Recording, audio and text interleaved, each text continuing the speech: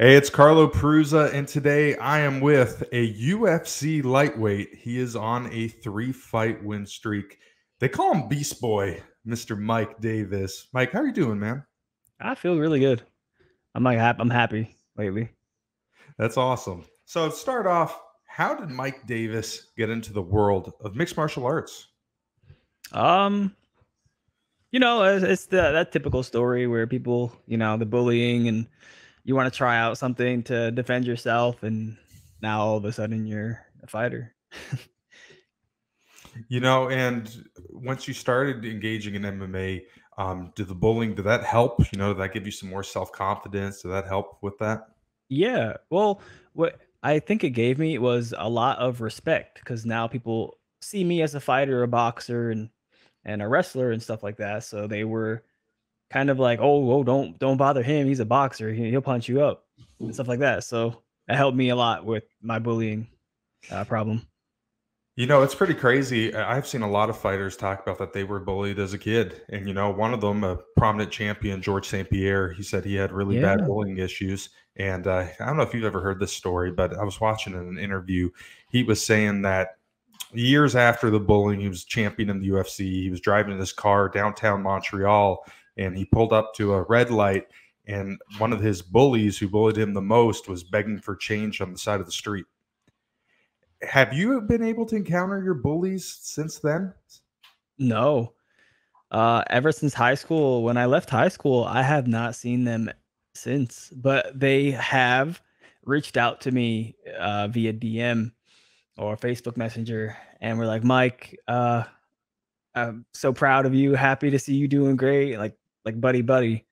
But I mean, in my head, I'm just like I kind of I remember how you used to treat me, so I don't really care. So, at what point in your career did you think, you know, this is something I can do seriously? I can kind of make a career out of this. My third pro fight. After my third pro fight, I decided that I was good enough because I haven't lost all the way up to my third pro fight. And um after that, I figured I can make it to the UFC. I'm 3 and 0 as a professional fighter. I'm 10 and 0 as an amateur uh, MMA fighter. I have a one boxing. I got three professional boxing fights, three amateur Muay Thai. Like I haven't lost, so I can probably do the like. I'm I'm very good at this. Let me let me make a living off of it. And now, how did you go by actually finding your first professional fight? How did that process go? I was with um, a manager, like kind of like a micromanager, because uh, right now I'm with big management. But he was the owner of a gym in Port Orange. His name's Pete White, and uh, when I went to his gym, he was already finding fights for the lower level amateur fighters and and his own professional boxers he has. So he managed to get me a fight, and I just rolled with it. You know, I've noticed that you have several fights for Island Fights. Obviously, Dean Toole runs that promotion. Um, how did you get hooked up with Dean, and how did you enjoy uh, fighting on his cards? Same. Uh, Pete White is good friends with Dean, so we uh, reached out with Dean. Um, I was gonna fight for Combat Night, but again, Dean got me and treated me very well, so I just stuck with that promotion. He was the only promotion that I was able to get into that was able to find people that would come to the state to fight me. You know, it's kind of a funny story. We actually sat right beside each other a couple weeks ago at uh, Icon FC six in Orlando. I was there. Yeah, yeah. I was right beside you. Yeah, we sat next to each other. Okay. yeah. Um, overall, what do you think of promotions like that? You know, you have a guy like Jorge Masvidal teaming up with Dean, and they're offering these up and coming pro guys, you know, an avenue to get to the big shows. How important is that for the sport? Super important. But however, um, when it comes to picking people for the UFC, I feel like they are getting very like, lenient on it. So if you have a couple wins, doesn't matter who it's against, they'll give you a contender series fight, and they're bringing so many people into the UFC is getting kind of overcrowded. You know, speaking of the contender series, you were five and zero oh as a pro. You got to fight Sodiq Yusuff in the contender series things didn't go your way, but overall, how was that experience? And did you learn a, a couple things from that that maybe changed you as a fighter, gave you a new approach on things? Yes. Um, again, when I was training up to that point, I was with a boxing gym.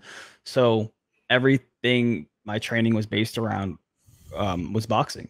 So I never really figured to use my wrestling or to use my my jujitsu in a fight or kick most it's mostly just my hands. So after that fight when I lost, I really dug down into who I am as a fighter and if I want to keep fighting that I have to make changes. I got to do MMA, not rely so much on my boxing. So I went to um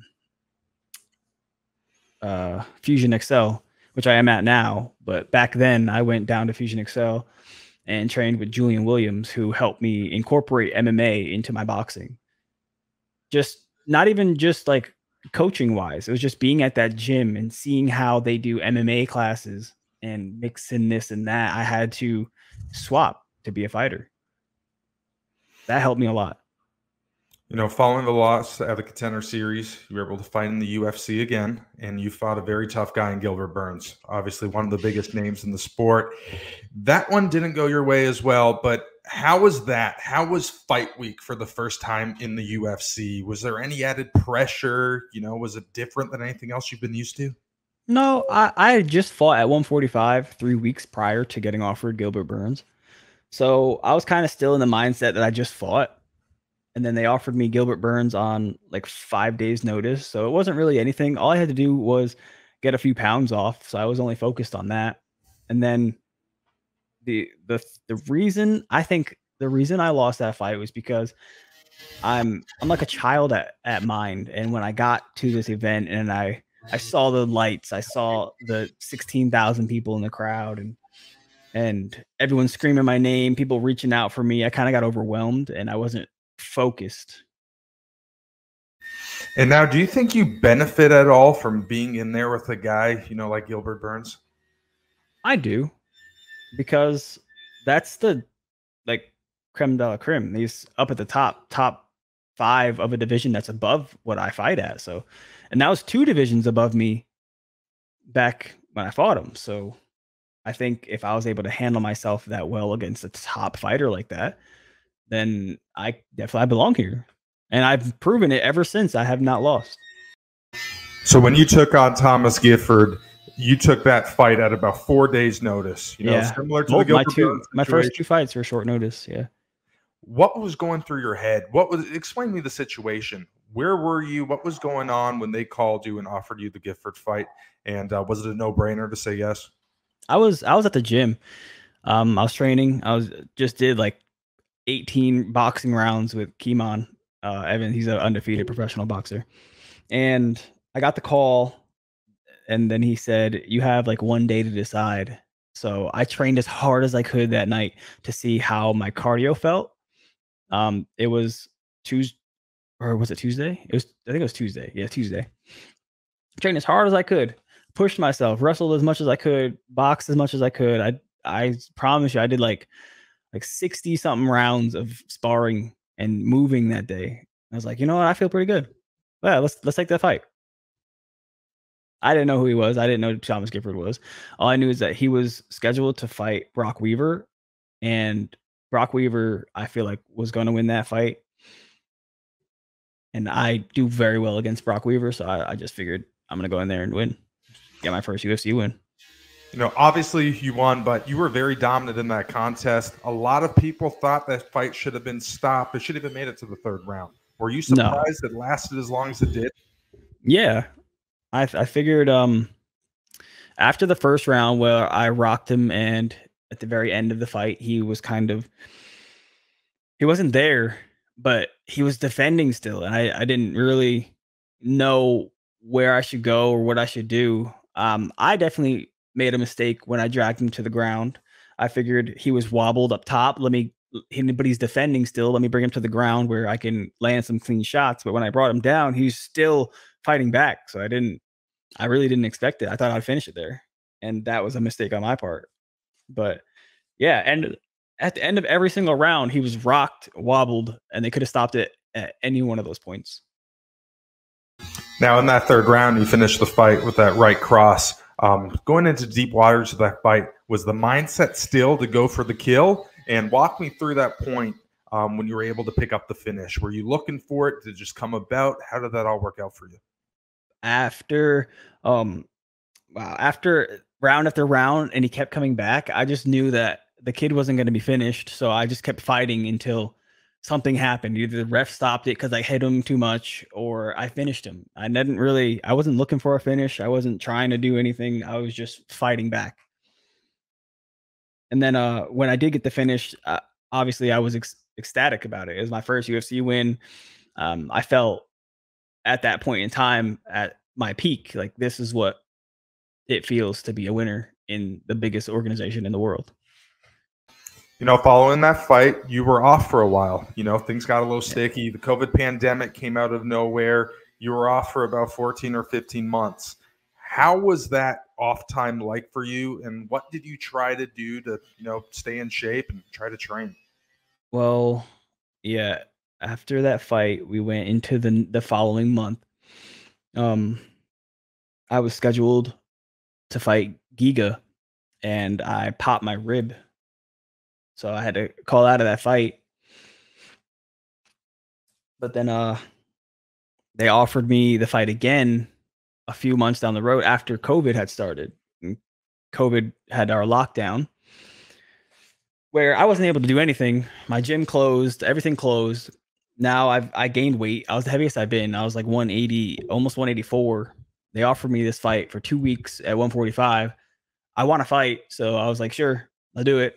I tried cutting, I tried doing everything, and that was not happening. Not without the access to the gym, and no sauna, nothing. So it was it was running in the heat with a sauna suit on, and it was just hurting my body, and my body did not want to cut weight. So that fight couldn't happen. And then after that, I got hit by a car. Like two two months after that, I got hit by a car. So my body was just really aching and all the time.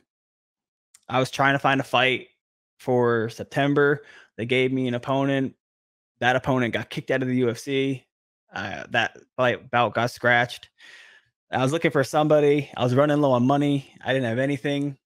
And then um finally December at the end of December, very end, uh around like right before Christmas, they offered me a fight in Abu Dhabi. And I was like, yo, so we're going to Abu Dhabi. I gotta I gotta fight. I don't care who it is they told me it was some guy named Jones Mason.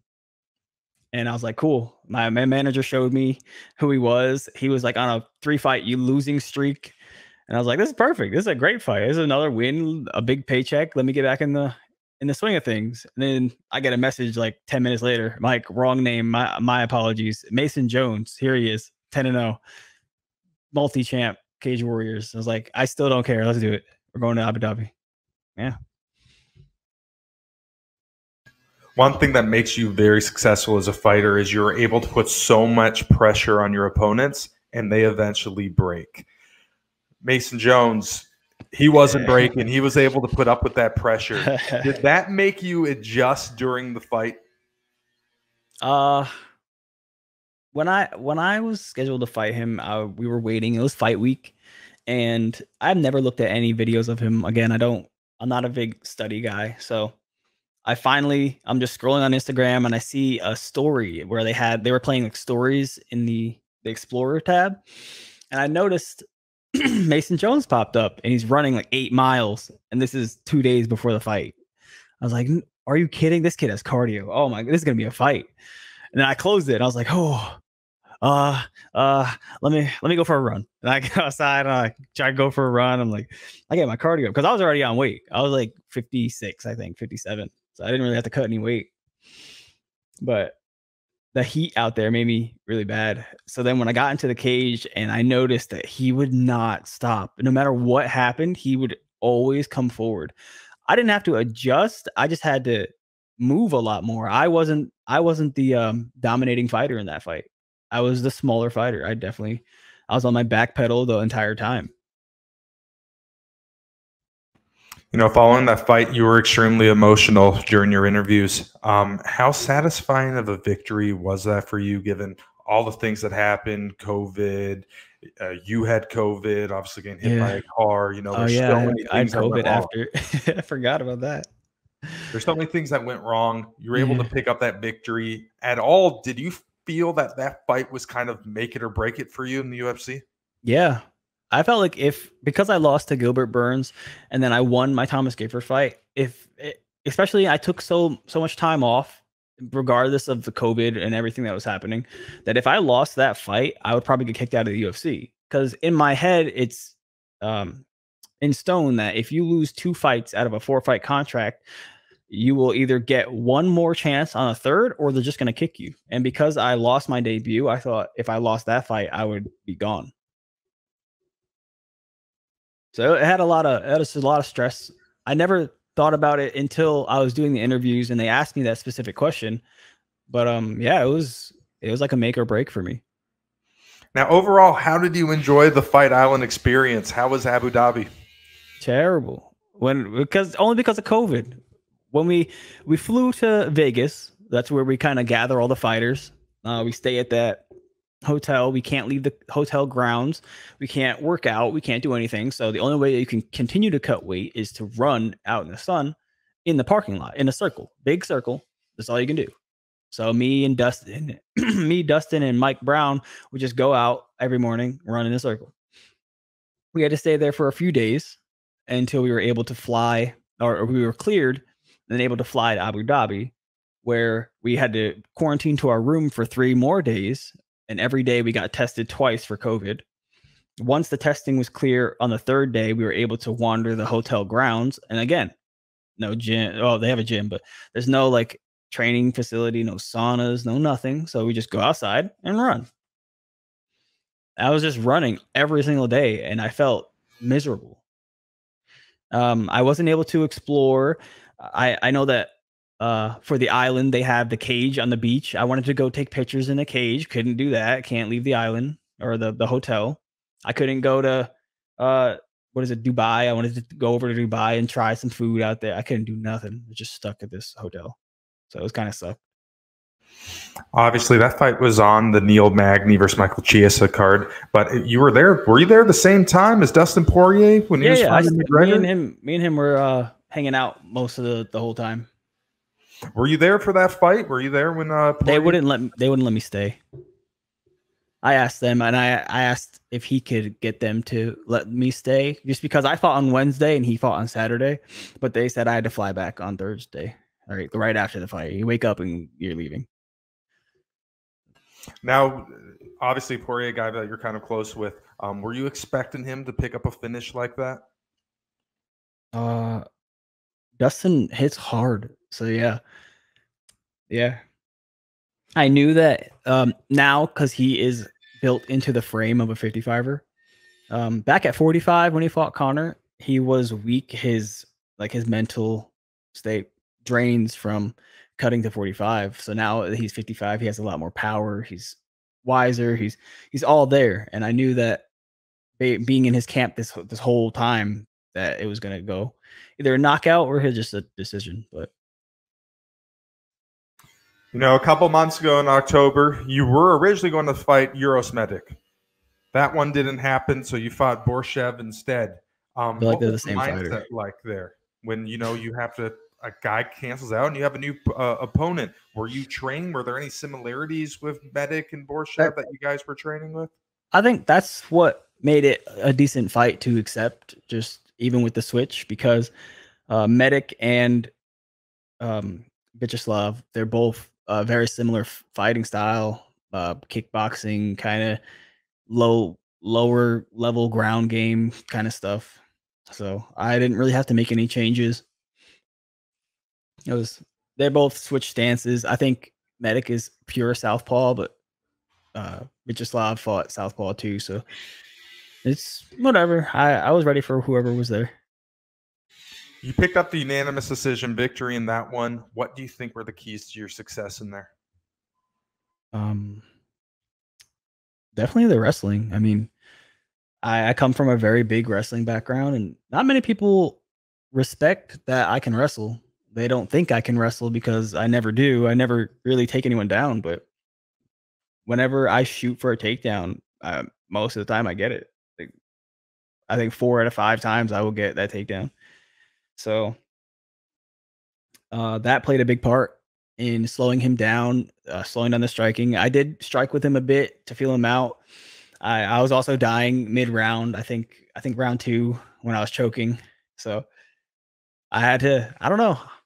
The wrestling. If you can't wrestle in the UFC right now, you you shouldn't be there. You're on a three fight win streak now. Do you feel like you're at a very good place mentally and physically in your career? Do you feel like everything's being put all together right now? I think so. I feel like once you get to three and zero, oh, uh, three in a row in the UFC, that you are at a a spot that uh, ten uh, percent of the fighters will ever make it to. Three in a row in the the world's biggest organization. Um, and not only that, but I think 155 155 and 170 are the two hardest divisions in the UFC. So to be on a three fight win streak in this division makes me feel very confident that going forward, we're going to keep this streak going. Through your career, you know, when you look at your resume, you look at your record, you have a lot of finishes. Um, is that an important thing for you going into a fight? Are you looking for the finish? Are you looking for excitement? What are your thoughts on that? Um, just mostly because I'm not like a super violent person. I never really go in there and I'm like, oh, I'm I'm knocking this kid out today. I just feel like I go in there, I put my skill set on display. It's always either too much for someone to handle or or it's we're kind of like evenly matched, but there's little things that make me stand out a little bit and I get the win by decision. That's what happened for my last two fights. But yeah, normally because when I started pro, I was fighting 45 and 55. I was always the bigger person. So when I step in the ring, I'm the one in charge. I just come forward. And that's why all my fin that's why all my fights end in finishes because the guy gets overwhelmed and I just find little spots here and there that put him down. No, you mentioned the pressure. Is that something that you train consistently? You know, try to put as much pressure as you can against your opponents? No. I I just know I'm I'm a pocket fighter, so I'm very my boxing is definitely where I shine and I can fight in the pocket. I'm very good at finding openings. Um I have no set striking criteria that I follow. I I've never been taught by a striking coach besides boxing. I've taught myself everything that I know, and when I throw punches, it's not the traditional one, two, three, uh, like uppercut. I don't know the combinations. I just I see where your hands go and I hit the opposite spot so that you raise this hand, that's open. I'm going there. I'm my body will just move to those spots. I'm gonna hit you. You mentioned earlier that you train with Fusion X-Cel. You know, there's some very high level guys who train there. Jacare Souza, Adolfo Vieira, Mike Perry, Alex Nicholson. How beneficial to your career is being able to, you know, train with some very high caliber guys? Um, I'm not. I'm not sure because these guys have already experienced what it's like to be at the pinnacle, so they're not very hungry. Now, training with them is fantastic. Of course, they have the skill set, but sometimes they're just laid back and I'm still trying to be at the top. So I want hungry people.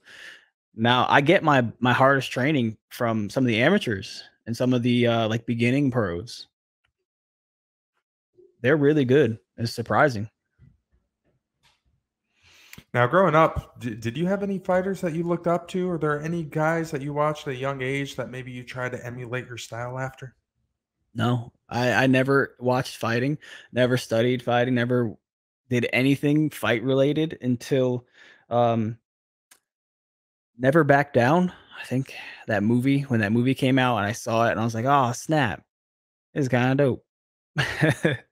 this guy getting bullied now he's the not he's not the bully but he's defending himself he's doing what he wants that's kind of like me and i love that movie and then ever since then i wanted to keep learning how to fight you mentioned earlier you don't watch a lot of film. You mentioned that you're not even really a big fan of the sport. You're just really good mm-hmm. at it. Do you think that allows you maybe to have a better mental mindset and prevents you Definitely. from being burnt out? Definitely.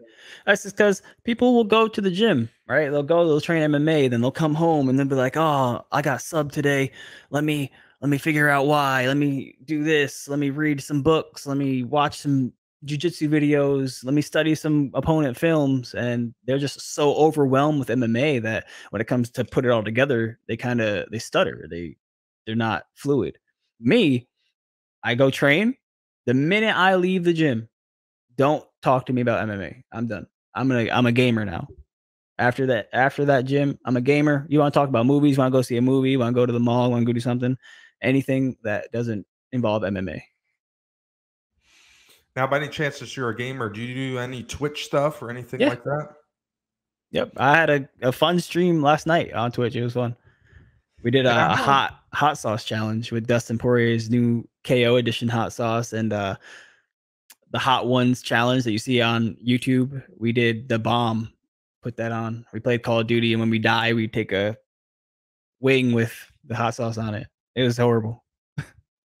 now, do you think that's some important thing, you know, for fighters to do is, you know, branch out in other things such as Twitch? Yeah.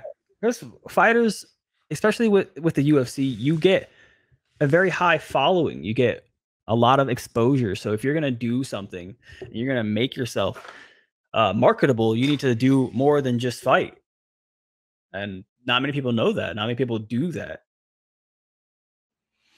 Just a couple more questions here for you, Mike. Um, you, you, mentioned in the past that MMA kind of saved your life in ways. Mm-hmm. Do you have any examples of that? Um, well, we can start with the bullying aspect um, I got bullied so much that I was a very depressed child. I was always alone. So, uh, suicide is a very uh, talked about subject nowadays, and I believe myself to be very emotional back at my young days. Then uh, we moved to me actually fighting now, and I, I love training. I love learning the skill, the, the the set that comes with being an MMA fighter. My friends, uh, this story has been out there a lot. My friends were having a little party. They were drinking and smoking, whatever, at their house. They invited me over, but I couldn't go. I had training. I specifically refused to go because I wanted to go to training. I, I was loving the the knowledge I was getting and the the feeling that I was getting from training. So later on the the next day i see on the news that they were arrested and uh, the story is that they got high and drunk and went out with the other people that they invited and one of them had a gun and they were out uh, robbing people apparently and i'm glad that i was not there because um, as my best friends i would 100% have gone out with them that night so I decided to train MMA, and that in turn saved me from the eight year sentence that they all got. I would have just been getting out of jail. I'm 30 years old. I would have gotten out. I, I was 60. I would have gotten out at 26 years old. I, I'm four years. I would have four years of growth right now.